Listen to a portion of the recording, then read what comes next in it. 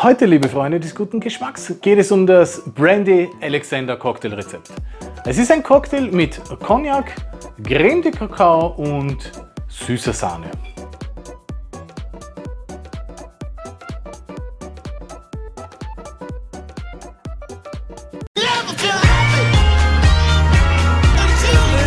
Hallo und herzlich willkommen bei Shake Joy.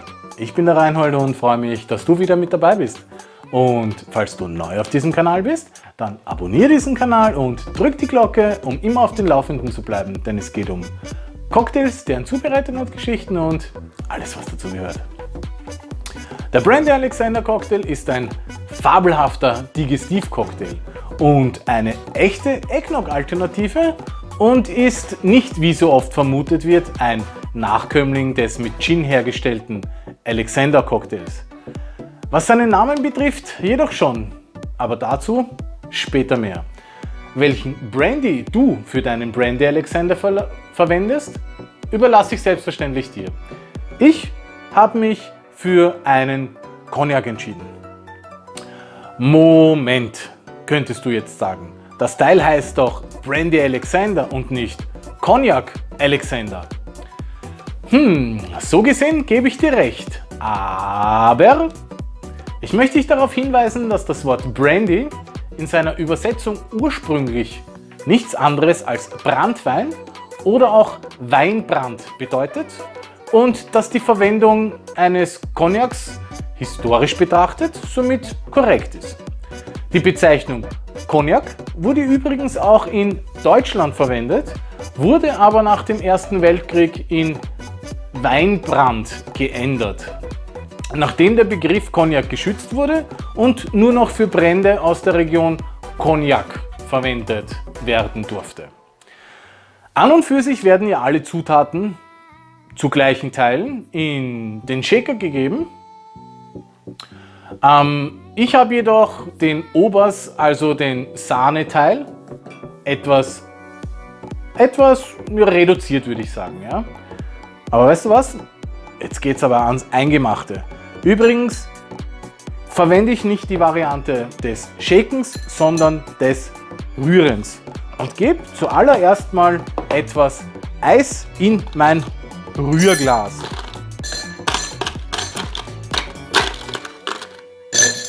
Doch bevor ich überhaupt den Cocktail kalt rühre, werde ich das Martini-Glas kalt stellen, indem ich einfach ein paar Eiswürfeln dazu gebe und es mit Wasser auffülle.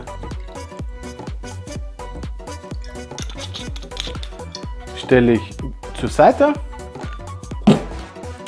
und jetzt gebe ich ins Rührglas 30 Milliliter Hennessy Cognac und 30 Milliliter Creme de Cacao Braun von Marie Brisson. Die Zutaten rühre ich jetzt kalt.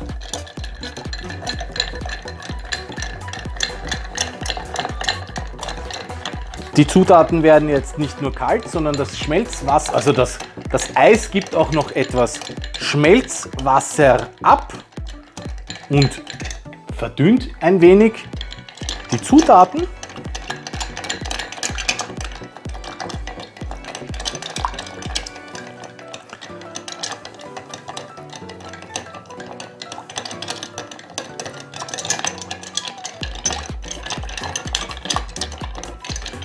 So.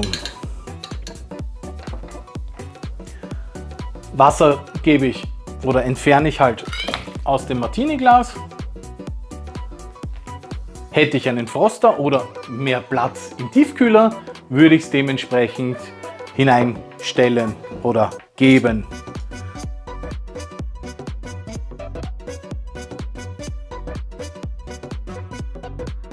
So, jetzt werde ich noch den Oberst, also die süße Sahne, mit Hilfe der Feder des House Trainers, zum Glück habe ich ja noch eine zweite, kurz und kräftig schütteln. Davon gebe ich jetzt halt eben 20 Milliliter dazu. Kurz und kräftig, sind in etwa 10 Sekunden. Zu lang darf es halt nicht sein, weil sonst hast Schlagobers.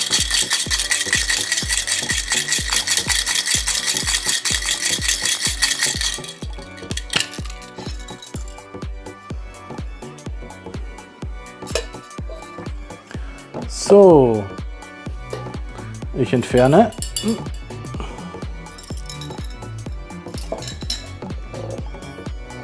Und werde über den Barrücken, Barlöffelrücken den Oberst floaten.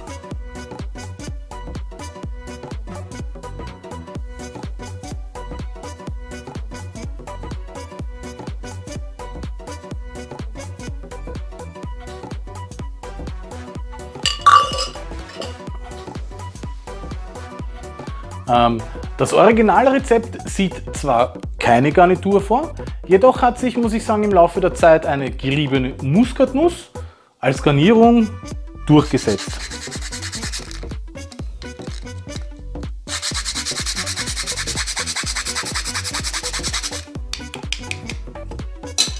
Oh ja, und jetzt verkosten wir das geile Teil mal. Ja, schaut schon mal sehr, sehr nett aus. Riecht gut, also die Muskatnuss in der Nase. Mm. Und ich mag das. Wenn diese Cremigkeit mit den, sich erst im Mund mit den Spirituosen verbindet. Ja? Also es ist cremig süß, ich muss wirklich zugeben, der gefällt mir sehr, sehr gut. Und man merkt diese Muskatnuss, die sich dann dank der Sahne am Gaumen quasi ablegt. Ja? Apropos gefallen. Wenn dir das Video bisher gefallen hat, dann freue ich mich, wenn du dem Video einen Like gibst und es mit deinen Freunden teilst. Und falls du an einem der Shirts, die ich in den Videos trage, gefallen gefunden hast, findest du wie immer den passenden Link dazu unten in der Videobeschreibung. Ich nehme noch einen Schluck, bevor ich auf die Geschichte zukomme. Mhm.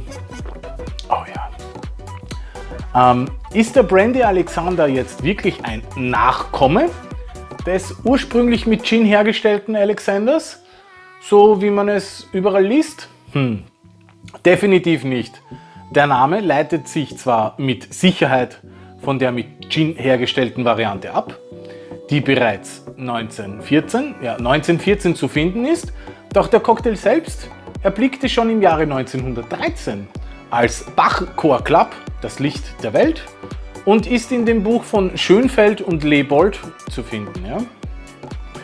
Der Cocktail ist auch in vielen weiteren Büchern, zum Beispiel unter dem Namen Alexandra Cocktail 1928, Alexandre Cocktail 1929, Alexander Cocktail Number 2 1930, Bachelors Bachelors Club Cocktail ebenfalls 1930 und als Panama Cocktail 1930 zu finden.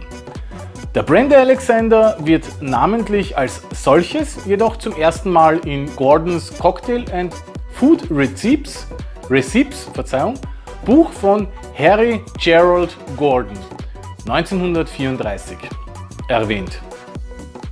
Wer den Bachchor Club und somit den Brandy Alexander erstmals gemixt hat, gemixt hat, das habe ich leider nicht feststellen können. Doch im Grunde genommen ist das auch nicht so wirklich wichtig. Er ist es auf jeden Fall wert, nachgemixt zu werden. Und in diesem Sinne wünsche ich dir wie immer viel Spaß beim Nachmachen. Danke dir fürs Zusehen und wünsche dir natürlich noch eine schöne Zeit. Bis zum nächsten Mal. Mach's gut. Ciao.